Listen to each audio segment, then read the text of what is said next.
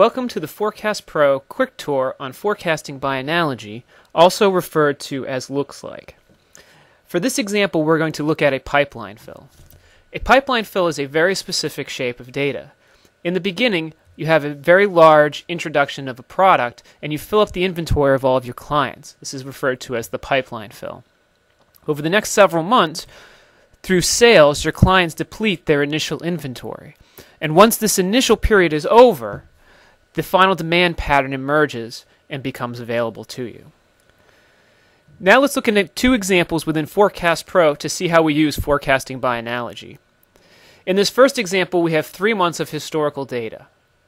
In order to apply a pipeline fill shape to this, I'm going to right click on the item and choose Model by Analogy. Now here I have two profiles. The first profile is my pipeline fill.